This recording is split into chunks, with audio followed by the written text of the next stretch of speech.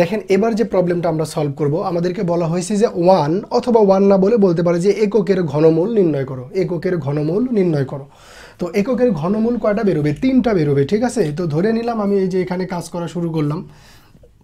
ধরেন এককের ঘনমূল এককের ঘনমূল কীভাবে লেখে? ওয়ান এইভাবে লেখে, ঠিক আছে? এটা কি এককের ঘনমূল? এখন জাস্ট এইটুকু ক্যালকুলেশন করে আমাকে কি করতে হবে? মান বের করতে হবে, কিন্তু কয়টা মান বেরোবে? তিনটা মান। তো এখান থেকে যেহেতু তিনটা মান বের করবে, আমি ধরে নিই যে লেট এককের এদিকে লিখি লেট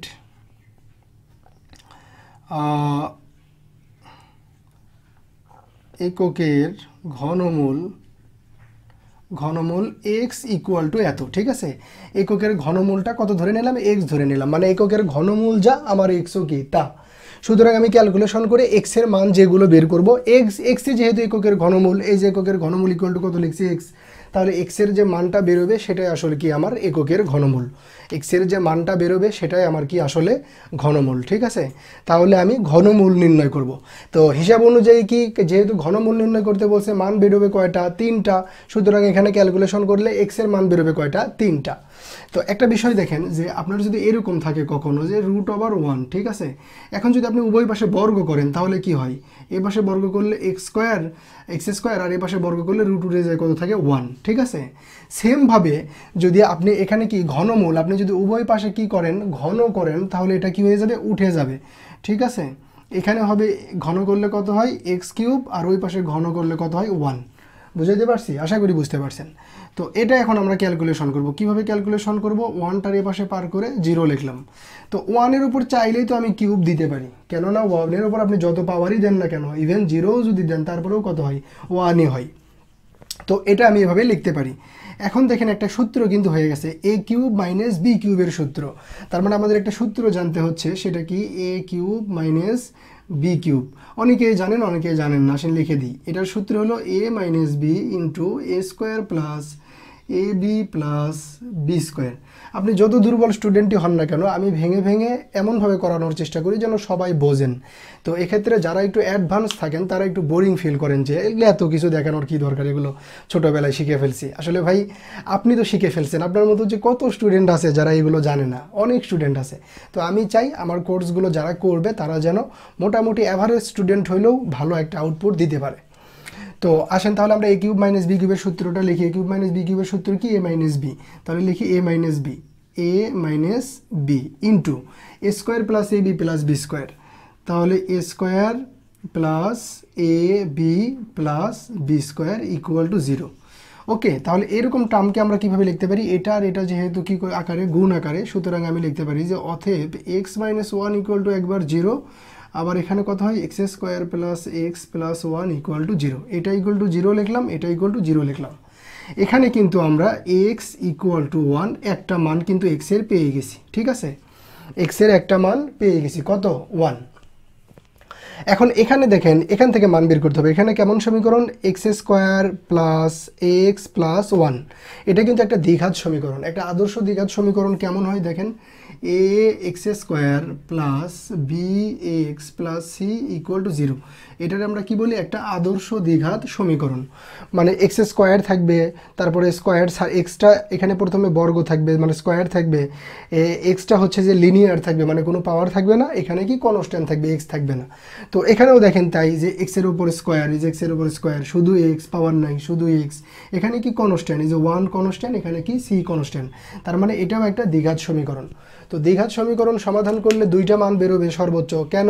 কারণ এই যে ভেরিয়েবলের মাথার উপরে সর্বোচ্চ পাওয়ার কত? দুই। সুতরাং এটা ক্যালকুলেশন করলে কটা মান বেরোবে? দুইটা মান। তাহলে এখান থেকে বেরোইলো দুইটা, এখান থেকে বেরোইলো একটা। কয়টা হলো? তিনটা। আর আমরা জানি যে ঘনমূলের মান কয়টা বেরোয়? তিনটা মান বেরোয়। ঠিক আছে? তো আসেন, এখন কথা হলো দ্বিঘাত সমীকরণ সমাধান কীভাবে করব? তো দ্বিঘাত সমীকরণ সমাধান সাধারণত দুইভাবে করা যায়। একভাবেই করা যায়, যেমন এটা থেকে এর, এই দ্বিঘাত সমীকরণটা সমাধান করার জন্য আমরা এক্সের মান এইভাবে বের করতে পারি। X minus b plus minus b square minus 4ac uh, root over divided by 2a একটা দ্বিঘাত সমীকরণ এই সূত্রের মাধ্যমে আমরা কি করতে পারি? সমাধান করতে পারি। যেখানে দেখেন এটা কি এক্স স্কোয়ারের সাথে যা থাকে তা এ বিটা কি এক্সের সাথে যা থাকে তা বি সিটা কি সিটা হলো যে আপনার সি তো সি ওখানে যা থাকবে তাই, ঠিক আছে? আমি এটা ভেঙে ভেঙে করতেছি, একটু সময় নিয়ে এরপরেরগুলো কিন্তু খুব দ্রুত করে ফেলব। এত কিছু আর দেখাবো না। কোথায় কোন সূত্র ব্যবহার করব আর বলব না। তো যারা এগুলো জানেন না, একটু দুর্বল, তারা কিন্তু এগুলো ভালোভাবে দেখে নেবেন, ঠিক আছে?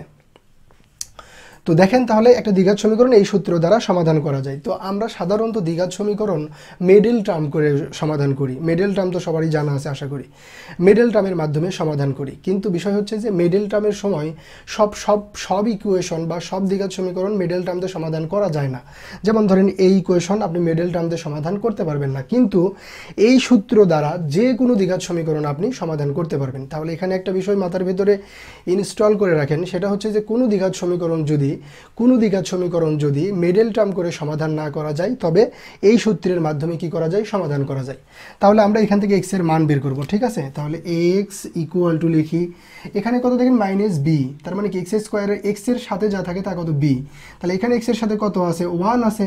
আমি এই সমীকরণটাকে এইভাবেও লিখে রাখতে পারি যে one into x square plus one into x plus one equal to zero আপনাদের বোঝার সুবিধার্থে। অথবা আমি এই সূত্রটা এখন লিখতেছি মান বের করার জন্য x equal to minus b b কত? এক্সের সাথে যা থাকে। এক্সের সাথে কত আছে? ওয়ান তার মানে minus one plus minus root over b square তাহলে বি কত এক্সের সাথে যা থাকে? তার মানে one square minus four a a কত এক্স স্কোয়ারের সাথে যা থাকে? এক্স স্কোয়ারের সাথে কত আছে? ওয়ান ফোর এ সি কত? এই যে কনস্ট্যান্ট যেটা থাকে one divided by two a এর মান কত? এই যে ওয়ান তাহলে এটা এখন ক্যালকুলেশন করি মাইনাস ওয়ান প্লাস মাইনাস এখানে কত দেখেন ওয়ান আর এখানে গুণ করলে কত হয় চার? মাইনাস চার থেকে যদি এক বাদ দিই তাহলে কত হয়? মাইনাস তিন।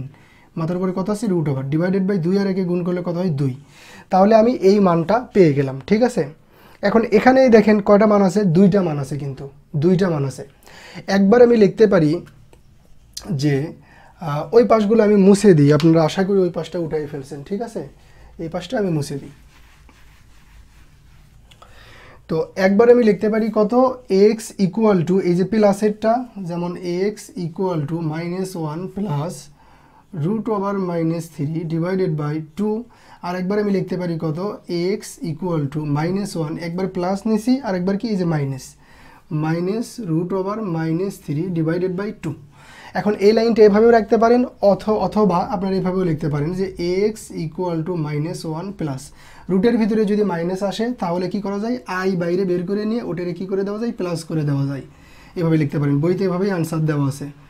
Minus i root over three divided by two okay তো এই তো আমাদের হচ্ছে যে এই তিনটা মান কিন্তু আমরা বের করে ফেললাম, ঠিক আছে? তাহলে ওয়ানের একটা ঘনমূল কোনটা? ওয়ানের হচ্ছে যে যে তিনটা কাল্পনিক, যে ঘনমূল বের করলেন, তার একটা হলো যে এইটা, এই এক্স ইকুয়াল টু ওয়ান এটা একটা ঘনমূল।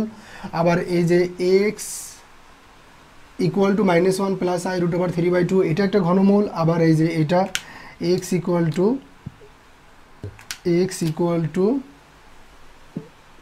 এটা একটা ঘনমূল। তো এই যে তিনটা মান পেয়ে গেলাম, এই তিনটাই আসলে কার ঘনমূল? ওয়ান বা এককের ঘনমূল, ঠিক আছে? তো ঘনমূল বের করে আমরা শিখলাম, এখন ঘনমূল দিয়ে আরও অনেক কাজ করা যায়, ঠিক আছে? অনেক কাজ আমরা করব। পর্যায়ক্রমে স্টেপ বাই স্টেপ অনেক কাজ করব। ওকে ডান